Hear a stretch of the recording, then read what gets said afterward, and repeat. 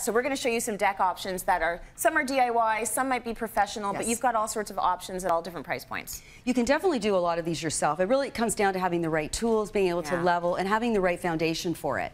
So in my case, I did, I'll, I'll, explain one of the products that I use through IKEA, which I'm going to show you later, was a great option. But I want to start first with something that's really quite new to the market. It's yeah. porcelain tiles for outside. Oh, nice. This is from Home Depot. And the product's called Durastrata. And they come in some really neat patterns, which are a little bit different. And that's why I wanted to share them with you, because you don't often see more of a wood grain that right. looks like something you'd have inside on the outside. So these are 24 by 24. They can be leveled on sand or gravel, but you okay. can also use a product called, it's just like a, basically a, a, an undermat that slides underneath that helps to do some of the leveling and then you can make sure you got your level and you can do it yourself. But again, if you're using a landscaper, this is somewhat, they can easily implement this in a garden area by the front door. Right. And all of these are great because they're slip proof, they're easy to clean, low maintenance, and the little little styling design tip is you keep mm -hmm. them nice and tight. You don't, you can put little, um, little uh, spacers in between. But generally, the trend today, even with tiling inside, is to keep your grout lines really, really thin.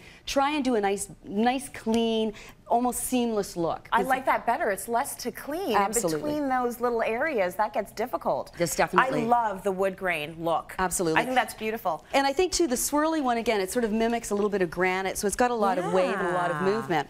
Now, okay, this so is, how about this one? Well, this is a company, this is Techo-Bloc. Okay. And it is a concrete base, so these are, these are concrete.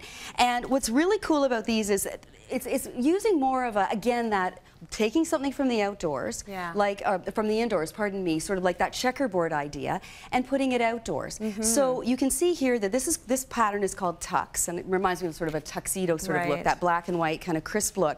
And what I like to use with something like this is where do you put it? So you might want to make an area around your barbecue, just sort of a mm -hmm. almost almost mm-hmm. like a, a, an area rug, but create it with your stone. What's amazing about this is it's very low maintenance, also to its salt resistance. So a big issue for a lot of outdoor outdoor patios is making sure that no one's going to fall or slip around pools right. or on driveways because remember we have four seasons we have to be very aware of that surface we're putting down to make it safe for everyone, whether you're, it's aging population, mm -hmm. whether it's mm-hmm. young children, you have to really make sure that, that what you're putting down, you know, covers off, check marks everything that you're going to need. Right, So okay. that one certainly does it. If this, in terms of price point, we're looking at uh, more for something like this than... It can be. That yeah. particular one roughly runs you about $28 a tile. That's a 24 by 24. Yeah. This one, again, it's more customized. You might need someone to install something like this. Right. But again, great product, easy maintenance. It's something to think about. Okay, good. Now, this is another product that's quite new, and I'm absolutely in love with this. It's